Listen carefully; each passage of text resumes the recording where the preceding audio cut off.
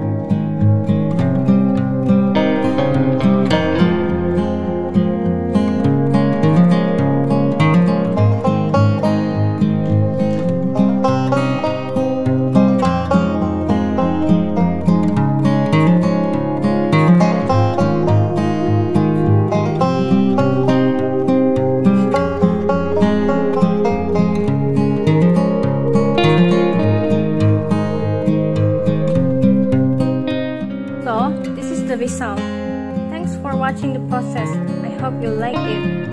Like, subscribe, comment and share if you like it.